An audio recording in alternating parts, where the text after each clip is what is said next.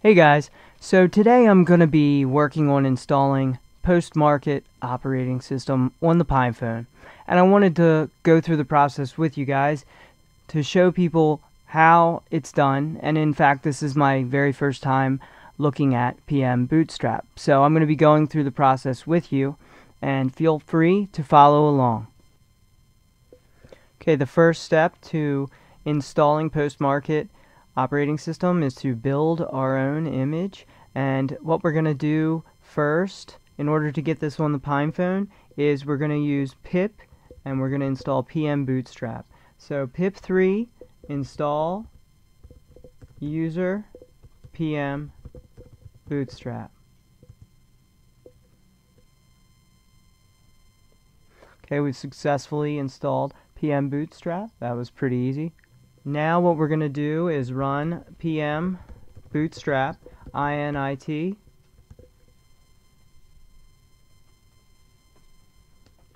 and we're going to go with the default work path which if you just press enter it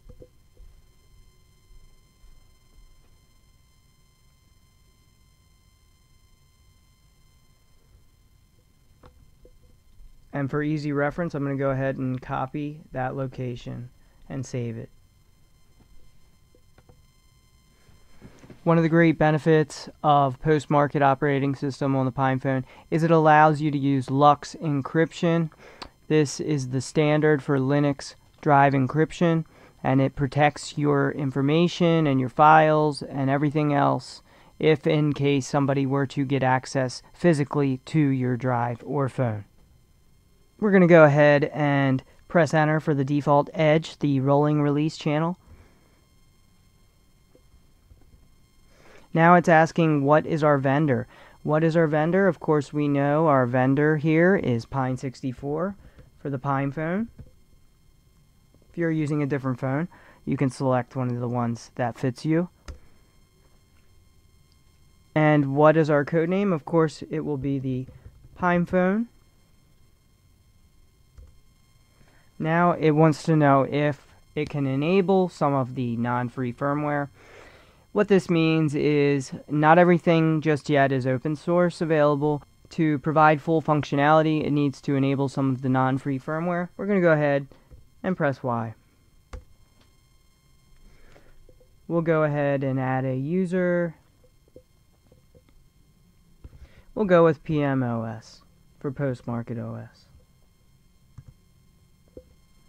Okay, so now we are given our choices on what we would like our GUI, our graphical user interface.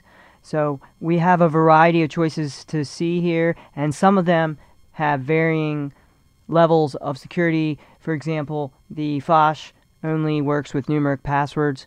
What that would mean is if we feel at risk if somebody has a chance to guess passwords, numeric passwords would be faster to guess than alphanumeric or a mixture of letters, symbols, and numbers. So we got to make a little sacrifice. I plan on doing alphanumeric uh, LUKS hard drive encryption, so I think I'll go ahead and I want to try Plasma Mobile. So I'm going to go ahead and give this one a try this time. So we're going to go with Plasma Mobile. Now this only allows numeric passwords as well. This is an experiment. Now that we have everything ready, we're going to need to select our micro SD card or our drive for installation. I'm going to be using a micro SD card because I want to try out post-market operating system before I flash it possibly to my eMMC.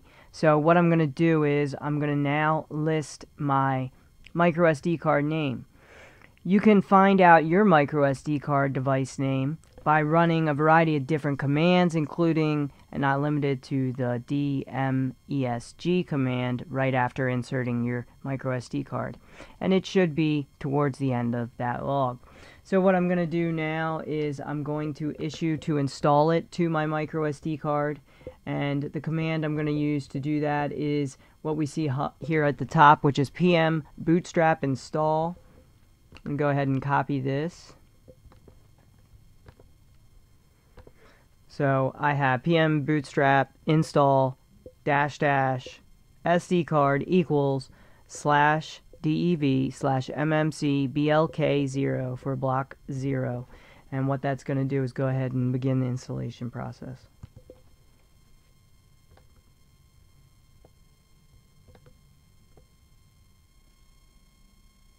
So I just entered my password and I'm ready to install. I have made it up to this point and it will erase all of the data on the disk we had selected earlier on PM Bootstrap init. So now I have to answer if I'm ready to erase it and do the full installation. I'm going to hit Y to continue.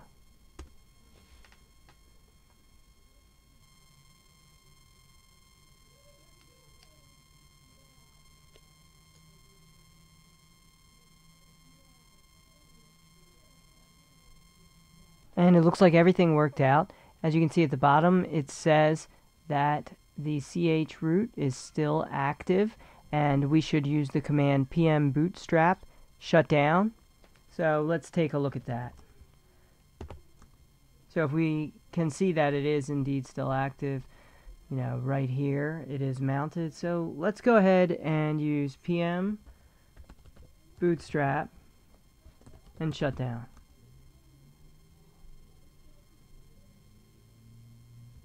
Now let's double check. And it unmounted everything as well. So now it looks like we have our micro SD card ready to go.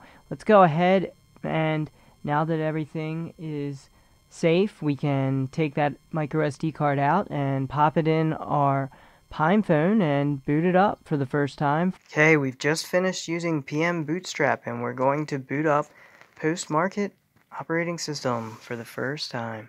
All we did was slip in our micro SD card into our PinePhone right after that. And this is what you'll see when you first power it up after finishing flashing everything and preparing your image. We have Plasma Mobile here. This is the Plasma Mobile. Thanks to the KDE community.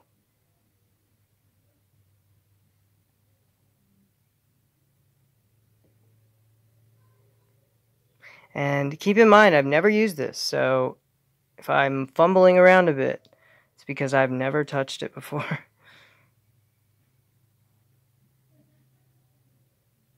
it's actually really a smooth experience.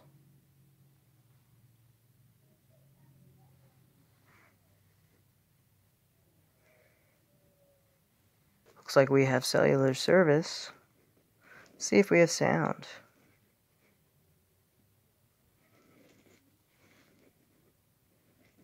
It looks like everything looks okay there. Front, left, front, right. It's very nice, very front, nice. Left. Now I'm really liking Plasma Mobile. I'm going to be playing around with this a lot more. I'll be doing some more videos on it. Wow, it's even got the gestures. Look at that. Very nice.